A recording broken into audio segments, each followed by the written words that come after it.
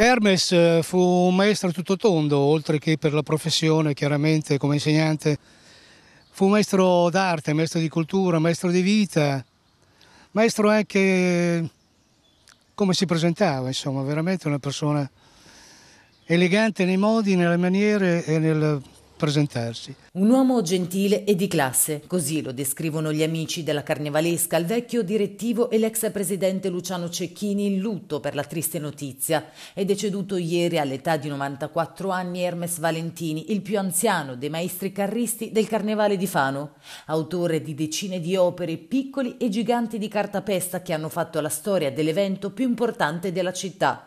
Al suo carro Profumo di donna del 1988 fu dedicato uno dei due francobolli lifanesi. Infatti, dopo la fontana di piazza 20 settembre, il carro di Valentini con le maschere utilizzate per alcune scene del film Stanno tutti bene di Giuseppe Tornatore fu scelto per il francobollo del 2013. Nel momento in cui ci fu richiesto dal Ministero delle Poste la redazione di un francobollo mm, a ricordo del Carnevale. E mm, nell'elaborazione di tale progetto, in pratica, dopo aver uh, insieme al Consiglio elaborato, visto eh, preso in, in, esame tutti i vari, carri, composizioni eccetera, il nostro sguardo si fermò sul maschere, sul, che hanno rappresentato per il carnevale per un periodo molto lungo, tra l'altro, devo dire, oltre a essere il manifesto del film eh, molto famoso. E le maschere girarono parecchio per l'Italia, Parti- arrivavano e partivano dai capannoni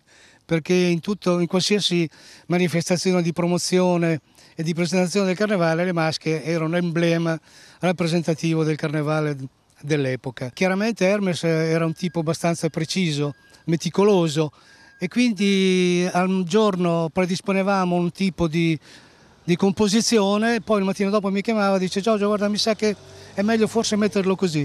Ecco così, mi piace ricordarlo in questo momento elaborativo. Questi francobolli vennero anche donati?